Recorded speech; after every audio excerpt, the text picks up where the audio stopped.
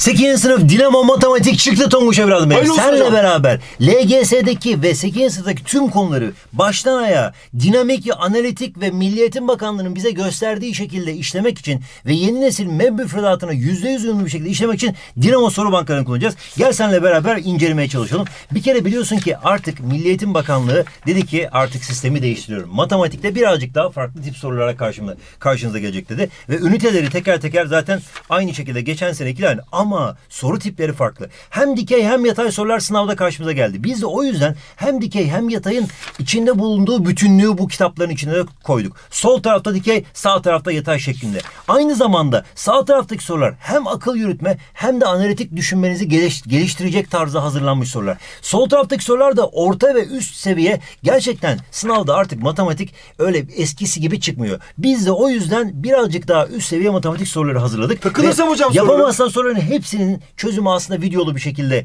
e, ce- e, cebinden izleyebilirsin. Ve tabii ki kitabımızın içinde konu öğreten, aynı zamanda pekiştiren testlerimiz var. Buradan da e, hangisinin hangi test olduğunu anlayabilirsin. Ve bu şekilde de matematikte, LGS'de en iyi netleri, aynı zamanda 8. sınıfta da en iyi sonuçları alabilirsin. Sağ olun hocam.